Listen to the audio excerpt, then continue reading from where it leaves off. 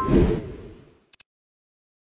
Hocam merhaba. Merhabalar Recep. Nasılsınız hocam? Çok teşekkür ederim. Sen nasılsın? İyiyim hocam ben de. Arkadaşlar kanalımızı arkadaşlarıyla paylaştıkça ve yeni abone arkadaşlarımız geldikçe daha da iyi oluyor. Evet Recep. O yüzden de hocam arkadaşlar bu videoyu şimdiden beğenmeyi unutmayın. Çünkü sizin bu destekleriniz bizi motive ediyor ve sene sonuna kadar zaten hep beraber derslerimizi işliyor olacağız. Hocam bugün ne konuşuyoruz? Recep duygularıma tercüman oldun. Kesinlikle Ben hocam. daha söyleyecek bir şey bulamadım. Değil mi hocam? Recep. Bitti gidiyoruz arkadaşlar. Evet Recep. Yeni konumuz ne?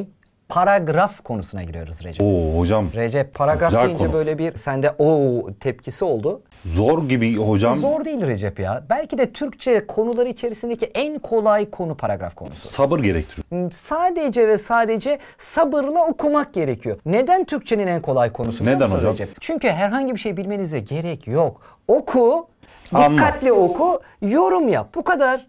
Süpermiş hocam. E, o zaman ne olacak? Türkçenin en kolay konusu paragraf konusu oluyor böyle. O zaman arkadaşlar en çok doğru yaptıkları konu da bu olacak hocam. Aynen öyle Recep. Sadece dikkatli okumaları gerekiyor. Hani böyle geçiştirme yapmazlarsa kesinlikle doğru cevabı bulurlar Recep. Süper hocam. Peki biz ne anlatacağız Recep paragraf konusunda? Evet hocam. Biz arkadaşlara tüyo vereceğiz. Biz Nasıl arkadaşlara paragraf sorusu çözerken dikkat etmesi gereken yerler ve kavramları açıklayacağız. Olur hocam. Evet Recep. O zaman gelsin mi konumuz? Gelsin hocam. Evet gelsin.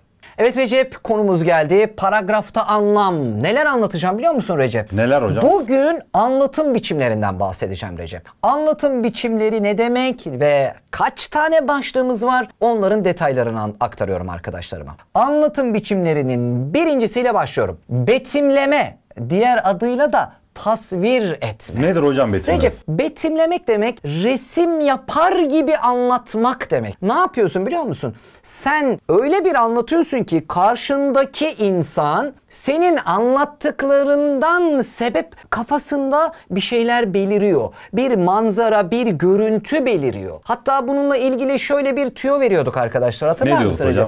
Hocam? Telefonu cebimizden çıkartıyorduk. Evet. Evet.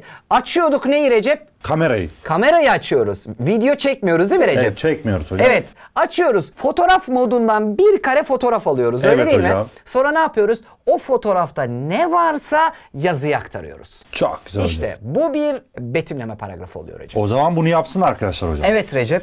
Tüyo budur. Yani arkadaşlar siz ne arayacaksınız? Bana yazarın izlenimlerini aktaracak. Ne gördüyse yorum da katsa ama gördüğünü aktarıyor olması önemlidir. Betimleme, tasvir etme okuyucunun gözünde, zihninde canlanacak şekilde niteliklerin aktarılmasına, paragrafın resim çizer gibi anlatılmasına denir. Bu benim neyim Recep? Açıklamam. Bakın arkadaşlar şurası çok önemli. Şuraya dikkat ediyoruz. Nasılmış Recep? Resim çizer gibi anlatılmasıdır. Evet hocam. Hemen örnek üzerinde görelim mi? Nasıl Görelim oluyormuş hocam. betimleme? Ormanın çam ağacı yapraklarının dikenli iğneleriyle kaplı dümdüz zeminine uzandı. Yükseklerde uğuldayan rüzgarın sesini dinlerken yaban güllerinin kokusunu içine çekti. Yattığı yerden başlayan tatlı eğim dağı geçiyor daha sonra sarp ve dik bir kimliğe bürünüyordu. Çok aşağılarda yamacı dolanarak inen siyah araba yolunu görebiliyordu. Düzlükteki yol boyunca uzanan buz gibi suyuyla akan bir dere de vardı. Geçidin çok aşağılarında ve sonundaki bendin ilerisinde bir ağaç kesme atölyesine gözü takıldı. Hocam film gibi. Evet Recep, sanki görüntüyü gözümüzün önünde canlandırabildik. Öyle değil mi Recep? Evet hocam. Ben benim gözümde okurken bir şeyler canlandı, belirdi. Ben manzaraya hakim oldum. Öyle değil mi? Kesinlikle. İşte bu bir betimleme paragrafıdır Recep. Süper hocam. Evet, ne yapıyoruz Recep? Bir sonraki başlığımla devam ediyorum. Evet Recep, ikinci başlığımız öyküleme. Diğer adıyla hikaye etme. Nedir hocam öyküler? Recep öyküleme şudur. Olay anlatma esasına dayalıdır. Hatta bunu arkadaşlara biz tüyo vererek anlatıyorduk. Az önce de bir tüyo vererek anlattık öyle değil mi Kamera Recep? çıkarın Ne yapıyorduk? demiştik. Telefonumuzu cebimizden çıkartıyorduk değil mi? Evet hocam. Sonra oradan kameramızı açıyoruz. Ne yapıyoruz? Video kayıt bölümüne giriyoruz ve düğmeye bastık. Şöyle bir etrafta olup biteni birkaç saniye, birkaç dakika çektik ve durdurduk. Sonra diyorum ki Recep ben Arkadaşlar videoda ne çektiyseniz neler oluyorsa bir anlatın bana. İşte bu bir öykülemedir. Yani hayatın akışından bir kesit alıp onu aktarmaktır. Süper hocam. Evet Recep. Şimdi detaylara girelim ve örnek üzerinde görelim mi? Olur hocam. Recep bak açıklama aynen şöyle diyor ki uydurulmuş veya yaşanmış bir olayı sözle ya da yazıyla anlatıldığı anlatım biçimine öyküleme denir. Yani o zaman olay illa yaşanacak, illa gerçekçi olacak diye bir kural yok. Yok. Öyle değil mi? Olağanüstülüklerden bahsedebilir miyim? Olabilir hocam. Olabilir tabii ki. Evet. Bana olay olsun da nasıl olursa olsun. Recep. Olsun hocam. Aynen öyle Recep. Şimdi hemen örnek üzerinde görelim Recep. Kızımı yolcu ediyorduk. Kızım ve onunla okula gidecek olan bir grup arkadaşıyla otobüs terminalinde çember oluşturmuş, gülüşüyor, konuşuyorduk. Bir ara kızımın arkadaşlarından Elif'in dönüp dönüp bir yere baktığını fark ettim ama neye baktığını çok net anlayamadım. Az sonra Elif kayboldu. Etrafa bakıyor ama onu göremiyorduk. Derken Elif göründü. Yaşlıca bir teyzenin koluna girmiş, onun ezilmeden karşıya geçmesine ve otobüsünü bulmasına yardımcı olmaya çalışırken bir yandan da şimdi geliyorum diye bize sesleniyordu. O an Elif'le öyle gurur duydum ki Süpermiş diye hocam. biten bir paragraf. Tebrik ediyoruz Elif'i. Elif'i tebrik ettik öyle değil mi? Evet hocam. İsmi Elif olanlar Yazın kendinizle bize. gurur duyun. Bu büyük Kesinlikle. bir ihtimal o Elif'lerden biri de sizsinizdir. Kesinlikle hocam. Evet Recep. Ee, öyküleme anlaşıldı öyle değil mi? Anlaşıldı hocam. Anlaşıldı. O zaman devam ediyoruz diğer başlıkla. Evet Recep bir sonraki başlığımız geldi. Açıklama. Diğer adıyla açıklayıcı anlatım. Nedir hocam açıklama? Recep bu nedir biliyor musun? Bak direkt Açıklıyorum. Ne yapıyorum biliyor musun? Bana verilen şu kısacık cümle var ya Evet, o evet. bana tümüyle yetiyor. Nedir o biliyor musun Recep? Nedir hocam? Bilgi vermek amacı ile oluşturulan yazılardır. Amaç okuyucuyu bilgilendirmektir.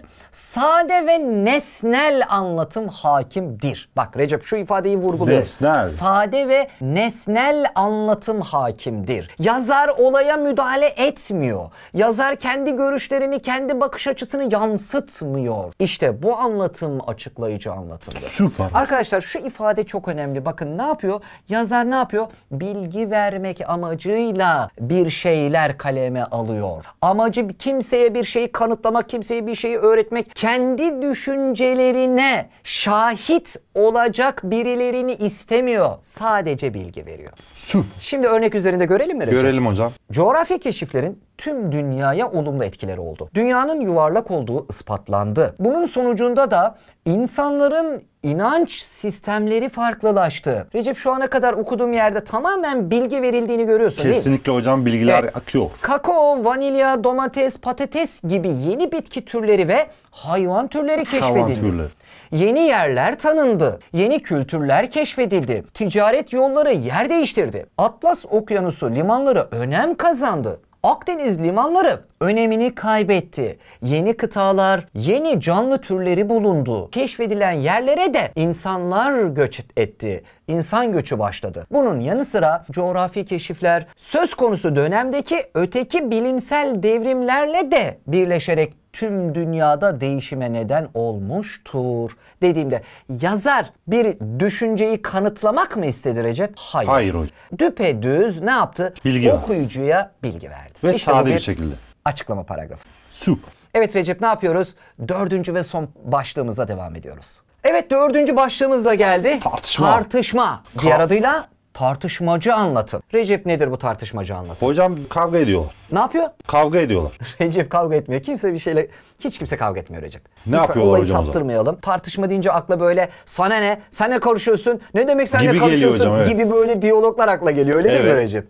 Ama burada öyle bir şey yok Recep. Burada ne var biliyor musun? Yazar bir şeyi savunuyor. Yazar ya da bir şeye karşı çıkıyor. Nasıl oluyor? Recep şöyle bir açıklama bir metnim var. Onu okuyacağım arkadaşlarım Neymiş zaten hocam? oradan anlayacaklar. Bak şimdi. Diyor ki yazarın okuyucuyu inandırmak, onu kendi gibi düşündürmek için kullandığı anlatım tekniğine tartışma denir. Ne yapıyormuş? Yazar okuyucuyu kendi gibi düşündürmek istiyor. İnandırmak istiyor hocam. Aynen öyle Recep. Amaç bir düşünceyi savunmak, başka bir düşünceye karşı çıkmaktır. Yazar düşüncelerini karşısında okuyucu varmış gibi, onunla konuşuyormuş gibi ele alır. Anlatımına ise öznellik hakimdir. Arkadaşlar bak burası çok önemli. Anlatımına ne hakimmiş Recep? Öznellik hocam. Öznellik hakimmiş. Az önce ne demiştim Recep? Sadeydi, Açıklama paragrafı nesneldi için. hocam. Nesnellik hakimdi. Burada ise öznellik hakimdir. Şimdi örneğim üzerinden görelim mi Recep? Olur hocam. Nasıl oluyormuş tartışma paragrafı.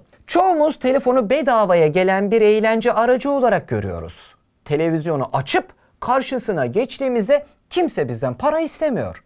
Ancak sırf televizyonda reklamı yapılıyor diye kimi ürünleri en az %10 daha fazla fiyata satıldığını biliyor muydunuz? Bu nedenle televizyon eğlencesinin bize hiç de ucuza mal olmadığını bilmek gerekiyor. Kesinlikle hocam. Evet Recep yazar düşüncelerini ortaya attı mı? Yazar düşüncelerini okuyucuya bir bakış açısı oluşturmak üzere söyledi mi? Söyledi ve beni ikna etti hocam. Beni de ikna etti Recep yazar. Demek ki başarılı bir yazar hocam. e, teşekkür ediyoruz. Bizi ikna ettiği Ufkumuzu için. açtı. E, ne yapacağız? Televizyon mu izlemeyeceğiz Recep? bundan Televizyonları sonra? kapatıyoruz hocam. Bu YouTube'dan 5 yıldız izliyoruz. Evet YouTube'dan izleyeceğiz bundan sonra. YouTube'da da video izliyoruz ama Recep. Orada da sürekli Orada reklam hocam çıkıyor. istediğimiz şeyi izliyoruz ve bilinçsiz tüketiyorsak eğer aynen bizim kanalımızda olduğu gibi bilgi alabildiğimiz kanallar var. Yeni bir şeyler öğrenebildiğimiz kanallar var. Öyle kullanırsak bence faydası olabilir hocam. Bir de ayrıca Recep YouTube'da reklama atla var değil mi Recep? Evet hocam He, var. Oradan atlıyoruz ve izlemiyoruz. Ne Kesinlikle. Parasını ödememiş oluyoruz. Kesinlikle böylelikle. hocam. Tamam. Evet Recep, konu anlatımını tamamladım. Bana sormak istediğin bir şey var mı? Hocam paragraf konusu bitti mi? Hayır bitmedi Recep. Devam ediyor olacağız. Bir sonraki videoda yine paragraf konusuna devam ediyoruz. Süper arkadaşlar. Paragraf için bir sonraki videomuzda da sizi bekliyoruz. Hocam bu videoyu da arkadaşlarımız kendi arkadaşlarıyla eğer bizi bilmeyenler varsa paylaşırlarsa çok seviniriz. Yeni insanlarla tanışmayı da istiyoruz kanal olarak. Ve de yeni gelenler varsa da hocam yorumlara yazsınlar. Ben geldim diye. Biz de bilelim. Ve de soruları varsa Mustafa hocama aşağıda sorabilirsiniz arkadaşlar. Evet arkadaşlar sorularımız bana yönelttiğiniz sorular arkadaşlar tarafından tarafıma ulaştırılıyor ve ben hepsine cevap vermeye çalışıyorum. Elimden Sağ olun hocam. kadarıyla. Arkadaşlar bu videoyu da beğenmeyi unutmayın. Bir sonraki videoda görüşmek üzere. Hoşçakalın. Hoşçakalın arkadaşlar. Thank